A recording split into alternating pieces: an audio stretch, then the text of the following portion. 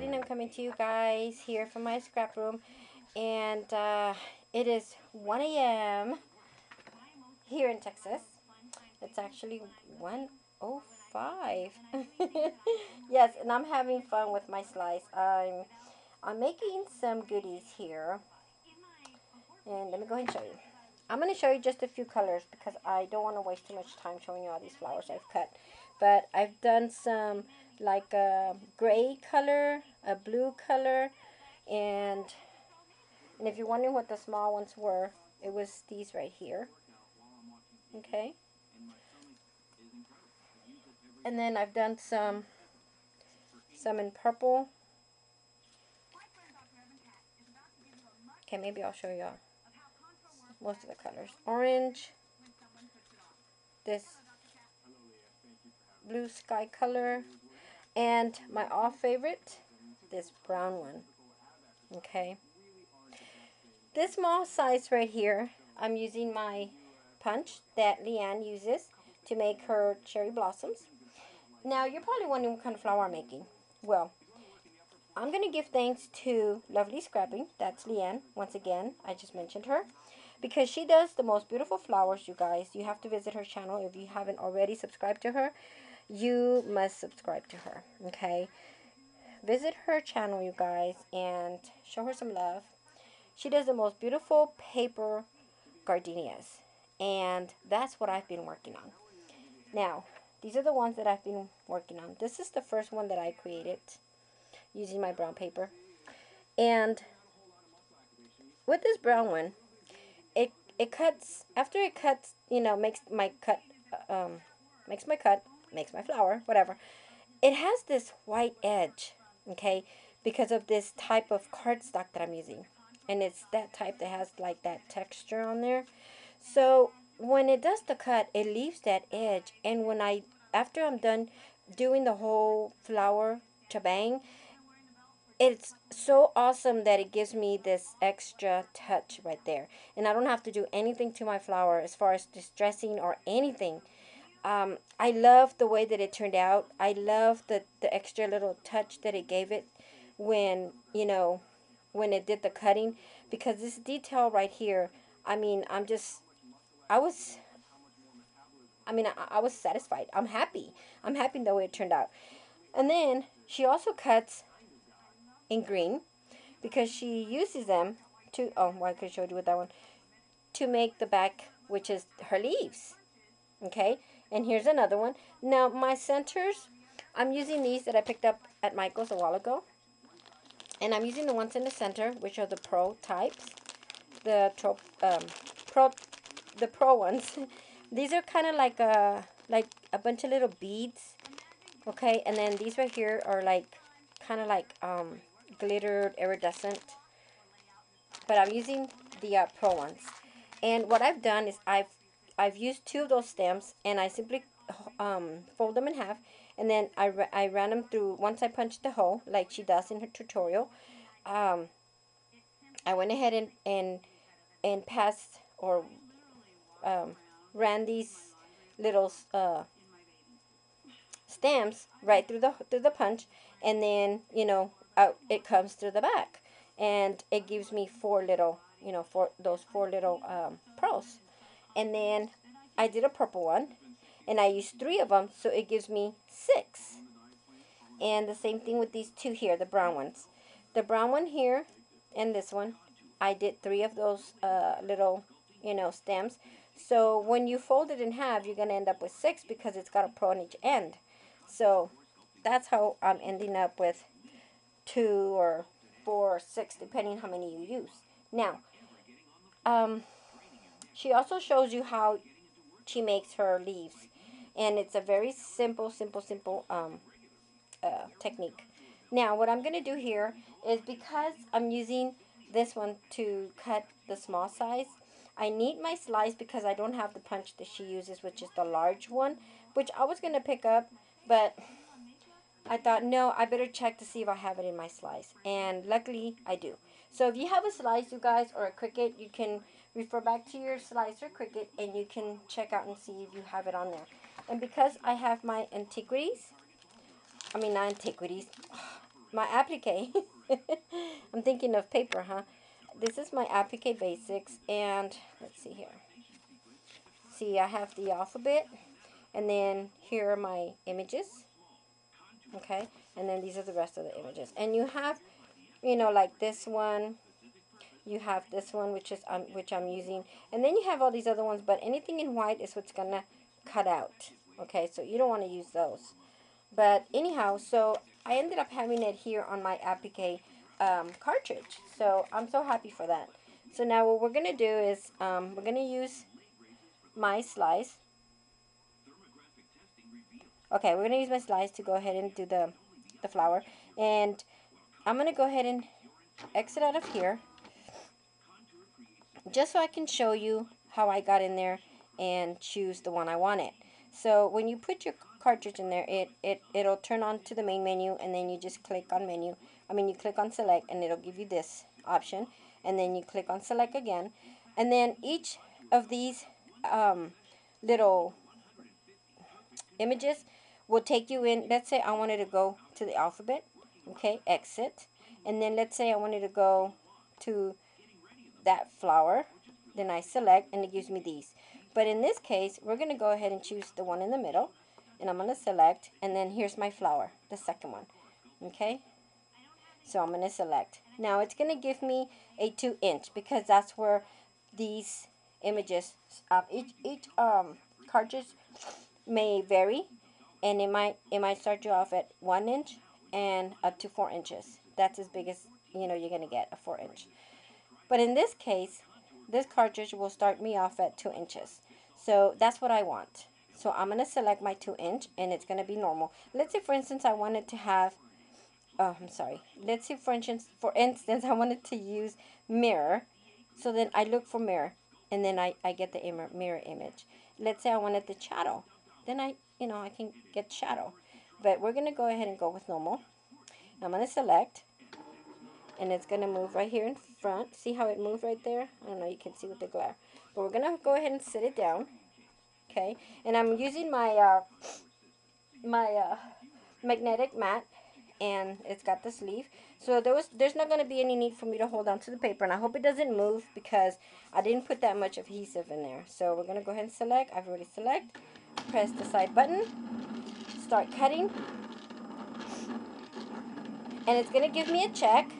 And once it gives me the check, here it goes. Then I'm going to go ahead and click on menu, lift my little machine.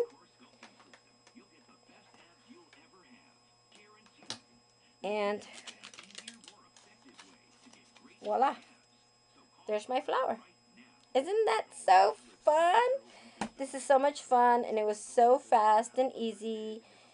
And I mean, you can't go wrong you guys. And then there's plenty of paper. And once you start playing with it you can more or less tell where you have to put your you know your your, your where you have to move it next.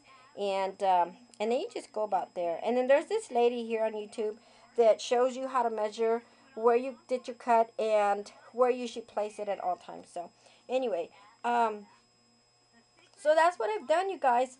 You know I'm using my slice.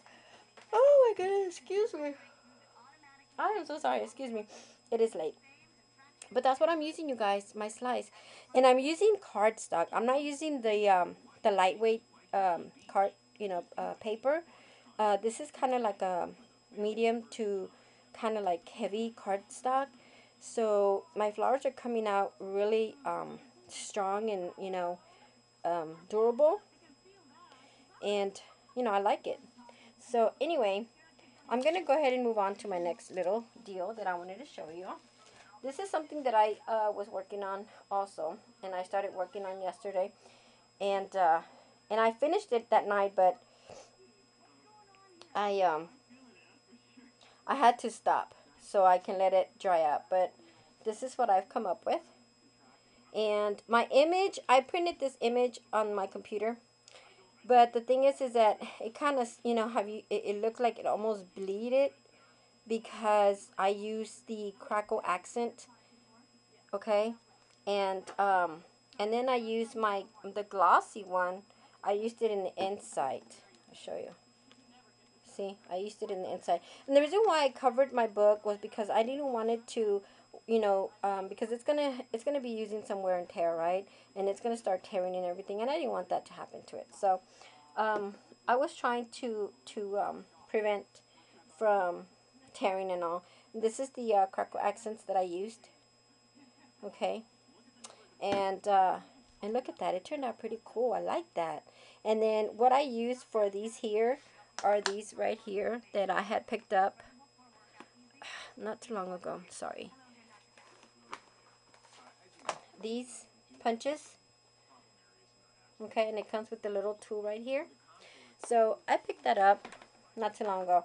And I spelled out my slice. And it's because it does shapes and more. Well, I did the spelling of shapes and more. I was going to put fun shapes and more, but I forgot to add my fun words letters, so it's okay. And then I added some flowers that were shared uh, by Scrapping Latina. Thank you, Jackie. And that's Jackie, Scrapping Latina. And I went ahead and I used my glossy accents to glossy these flowers and make them durable. And um, so, you know, so they don't get squashed or anything in my bag. And I simply used the little small rings. And here, I used my um, these right here that I picked up at Michael's when I first started getting into the minis and all that good stuff. I picked up this one for like maybe eight, five or yeah, about five, six dollars, something like that. So that's what I've done. And then here, as I mentioned, I did the clear, you know, glossy. And then this is what I've done. I went ahead and I went into my computer and I printed out every cartridge that I own for my slice. And I didn't, I, you know, kind of printed them down to a size, a perfect size that I wanted. Sorry about the glare. But, um, yeah, and then I just simply added, you know, I typed on there basic shapes, one. And then I didn't do anything in the back. I could have added a basic, you know, two and so on. But I, I wanted to have one for each cartridge. Ba basic shapes, two. And then basic shapes, three. Applique. And then we have baby. We have bon appetit, and so on.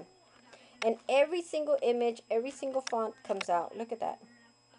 Everything comes out, you know, and you might not be able to see it here on the camera, but I can literally read it, okay? And I like that, and what I've done was I laminated each little, little, little um, sheet, and I cut it, like I said, I cut it to the size that I want it, and then I went ahead and I went, went in there and I laminated with uh, my little laminating machine and uh, perfect. So, and then I crackle painted the back too. Look at that. See that? And then I glossy accent the inside. So, yeah, you guys, that's what I've done. So, I had so much fun creating this little baby. So, now, when I go to my sister's and we craft, I can just put it here in my bag. It can either go here in this pocket because right here on this one, this is where I keep my power outlet. And then, for those of you that know how it looks on the inside, this is the way it looks on the inside. This is where I sit my machine. And then I have this small little, you know, um, portable embossing little mat. And then I have my embossing of little tools and for the um, and then this is where my blades are at. This is my tool. And what else do we have in here? We have this other little tool. So, or I can choose to not put it in there and put it in here. And my machine still fits in here just fine. And then I can put something else in here like my distress ink pads, which I used, which I went ahead and I put in there. I was able to fit like three in the bottom, three down here in the bottom, so six, and then another four at the top. So, and that's it, guys. And then I zip it up and I carry it over to my sister's. And I still plan on getting me the pink one. I want the pink one, but we'll see. So, yeah, that's what I've done, you guys. So, if you like the idea, you know, here's one great idea in, in case, you know, you like to go out and and do some crafting and and don't want to uh don't want to you know the reason why I did it was because see I carry I I hold my my cartridges in here Okay, I took them out of the boxes and I have my boxes put away. But I have the cartridge in little Ziploc and then I have my my little deal here, um, you know, where it shows you all the shapes and everything. But it can be a pain in the butt sometimes. You know, having to be going into your little Ziploc and taking out the paper, you know, and just to see what image is in there. Let's say, for instance, you're trying to work on, an, on a project and you pull out your little um, cartridge and you put it in your machine. But then you want to go ahead and say, okay, I wonder where this flower, where I can find this flower. Well, instead of going into each little Ziploc bag and having to pull out your little, you know, um, image uh, little deal, you can simply just pull out your little booklet like this out of your bag and just, you know, flip your pages and it's easier, faster, and better. Don't you think? So, that's my idea, guys. I just thought I'd share that with y'all. So, um, anyhow, that's something I wanted to share with y'all. And, um, and of course, my flowers, okay? Wanted to share with you my flowers that I have created. All thanks to Leeann, lovely scrapping. So, um, that's it. That's it. That's it. That's it. And I, um, I think I did try making some cherry blossoms, but no, no, I didn't. I cut the little flowers, but I ended up having, I ended up wanting to make the the uh, gardenias. Yeah. So, anyway, that's what I've been up to, guys. And I just thought I'd, you know, share that with you guys. And um, and yeah. So, thank you so much, Leeann, for the inspiration, for your tutorials, for your wonderful and um, awesome work. And uh, keep those videos and tutorials coming, girl. You're doing a great job. And uh, thank you everyone for stopping by and uh, tuning to my channel. And I will be seeing you real soon. All right? Bye.